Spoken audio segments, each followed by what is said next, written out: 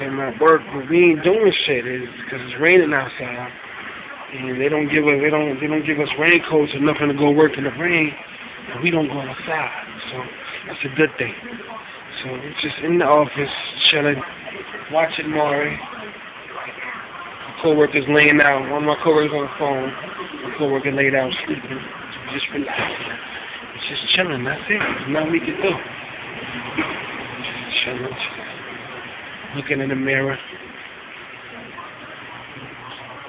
Dirty ass mirror. But that's about it. So, mm, that's all I can tell you.